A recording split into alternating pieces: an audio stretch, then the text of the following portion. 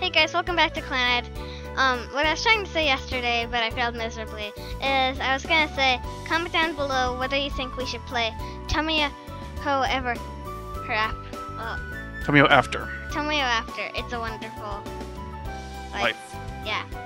Um, that's 20 hours. It is as long as the 100 hour Clannad game.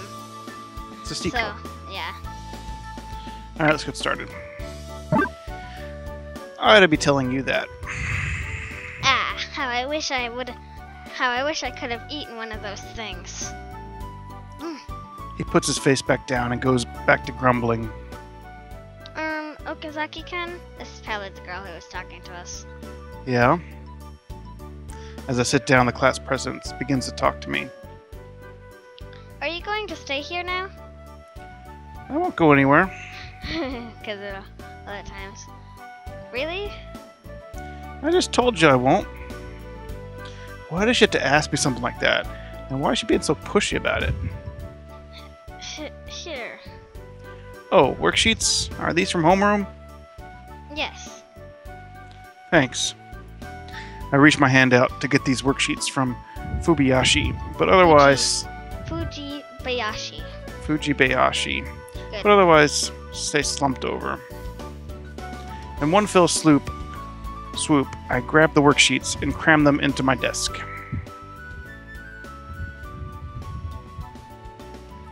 Do you need something else? Um, well. No, it's nothing. Fubi Bayashi returns to her seat. Bayashi. No, it's Fuji Bayashi. Fuji Bayashi returns to her seat with her shoulders drooped. I sigh it as I res- rest my head in my hands and look out the window. Reset my head. Reset my head. Thoughts pass in my mind like, what do we have to do next period again? Sunohara is still dejected after classes end, Every, so I, so I leave without him. every time, like, the picture, it always shows that guy. He's just, like, standing there behind everyone else. Yeah. And he just looks so sad.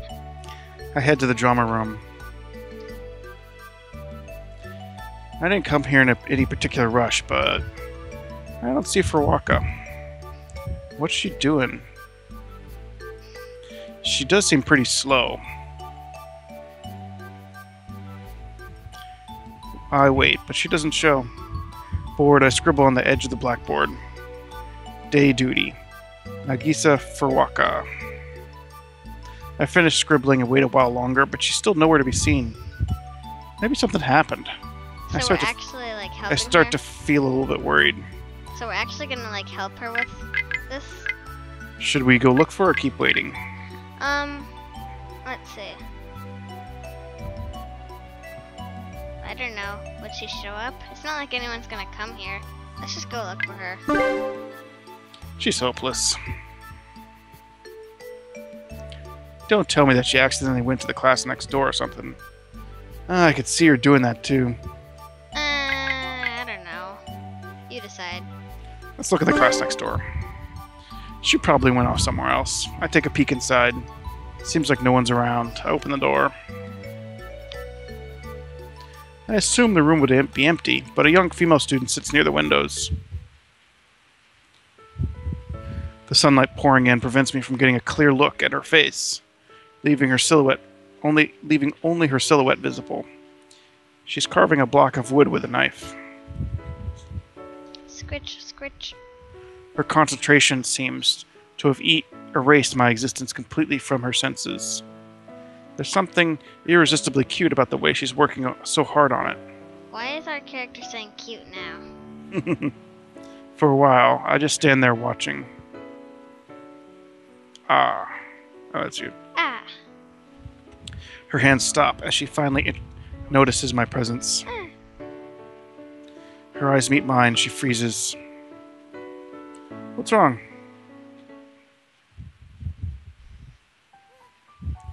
Well, Suddenly, she jumps up towards the corner of her room.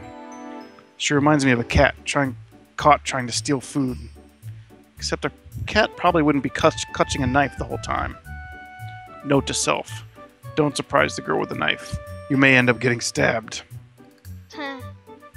Holding her ground, she cautiously watches my every move, still as she can be. I find it funny, wondering if she's trying to hide by standing perfectly still. Better yet, she's in the corner of the room, effectively the most visible spot in the whole place. Well, then, what should I do now? Um, Might as well talk to her. what about finding Furuaka? I say, is this the art club room? Uh, hey, I'm talking to you. She reluctantly points a finger at herself and tilts her head to the side. Everyone in this school is mentally mentally ill. yeah, yeah, you. As if there's anyone else here. She raises her index finger. Maybe she wants me to repeat the question. Is this the art club room? Still standing tightly in the corner, she shakes her head nervously. Oh, right. Other club members would be here if it was. So you just skip too many art classes and end up with piles of homework? Something like that? She shakes her head again. Then it's just a hobby? She shakes her head again. Then what on earth are you doing here? She shows me the wooden block she's working on, holding it in front of her chest. Yeah, that. This is a favorite thing. Suddenly, her she has a euphoric look on her face, as if she's lost in a and uh, revere, dreaming up something really fabulous. She's so full of openings. With a few steps, I quickly close the distance between the two of us, and proceed to take the knife from her hand. Ah! Relax, I'll give it back. Isn't this kind of dangerous to be using a knife like this? Now that I'm closer, I can see a bandage covering one of her hands. From the intense look she's giving me, I can tell she wants her knife back. We just stole her knife. You know, you should stop using this thing. What? Your hand. I could tell it's a mess. Is this carving wood really worth cutting yourself up like that?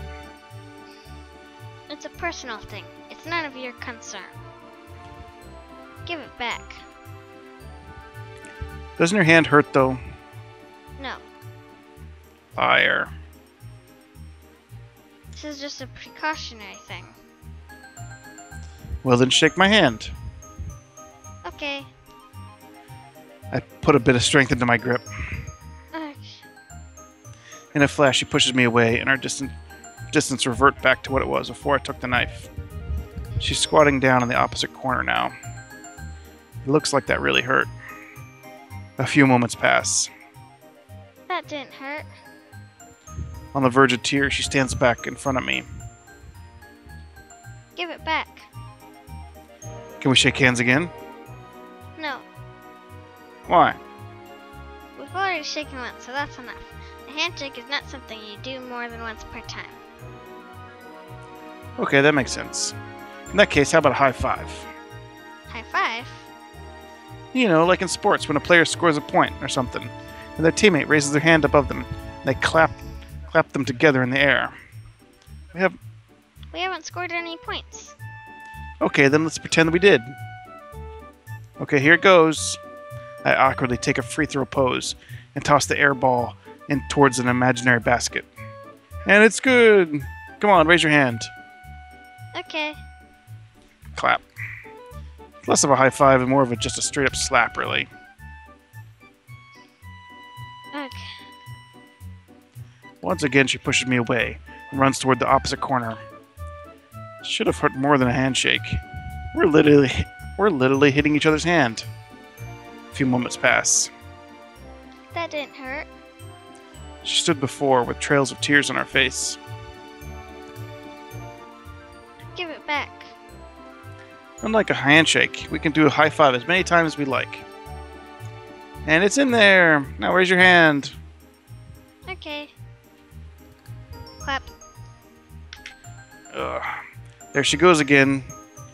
That's why I've been telling you, stop carving until your hand's completely healed. I put the knife into my pocket. Give it back. We stole a knife. She just won't give up. What if someone were trying to enjoy their club activities in peace nearby? And if something happens to you in here, do you know how much trouble that'd cause them? There shouldn't be anyone around here. Club season's coming up. People are going to start using this these rooms again around here. That's why you you should be patient until your injury heals. Besides, you can't make a decent carving with your hand in that condition, right? I don't know why you're pushing yourself so hard, but it, it'd be better if the final product is in perfect condition, right? But there's not enough time until it's healed. The teacher who gave you this assignment must be a real tyrant. No, this is a personal project. Then there's no problem. Just give your hand a rest for a bit. With that said, I leave the classroom. We stole a knife. From the corridor, I look back into the classroom. She's still standing there, looking down helplessly on her half-finished work of art. Her tears are about to burst out. Maybe that was a bit too mean, but only an idiot would try to carve with a hand like that. You should take better care of your body.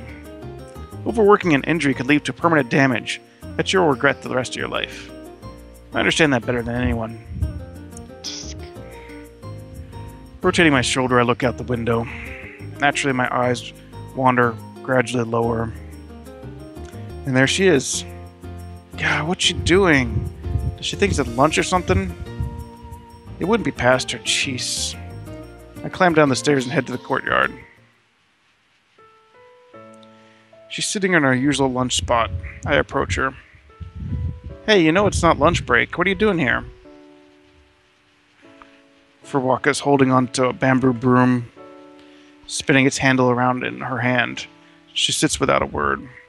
From the looks out of it, of it, she's down again. What's wrong? Something happened? I sit next to her. Sand gets caught in the broom's and the bamboo broom's tips as she continues spinning it in the in front of her feet. So it's your turn on class cleaning duty, eh? She finally answers. So what's wrong? Why aren't you cleaning? I was. You were? Were you? Why'd you stop? Um, well. It's because. She thinks for a bit. Then she quickly stands up. It's nothing. I need to talk to you about Okazaki san. After saying that, she starts to walk off. Hey, hold on a second. I get up too and follow her after her. I don't get you, you know that? Now you're gonna treat me like a bad guy? No, Okazaki san. You're a good person. You don't have to go so far to call me a good person. But I'm not the kind of person you, you'd harm, right? Would harm you. You'd harm That's you, right. right? Then you can just tell me what's wrong, like you always do. I'm dragging you into something, Okazaki san, and it's not very fun. I'm wasting your time, and I don't want to, that to happen. That's not true. It's plenty fun. Or maybe I shouldn't say that. Furuwaka stops and starts spinning the broom handle again where she stands. I just gaze at her. All of a sudden, I feel uncomfortable. I feel another me, one that's less attached to the situation, watching us as this takes place. What am I doing? I lose track of time just for a moment. As this happens, Furuwaka just looks down at the ground, ever silent. For now, I need to focus on cheering her up. Food, that's right, food. I start thinking of different kinds of food. What is it? What is it that she likes? The Big Dango family. Back when that song was popular, every supermarket you walked walked walked in had huge packs of dango that made it look like these characters. Furuwaka, you like dango, don't you? Yes? Say the words Big Dango family for me. Use that to cheer yourself up. Do you think some stores will sell, will sell the Big Dango family? Probably. Don't worry about it. Worry about that right now. So just say the words and use them to as your mantra. Furuwaka, close her eyes, and then Dango family. Okay. Well, I'm gonna end this episode here. See you guys next time on Clannad. Make sure to subscribe and like this video. Bye. see it.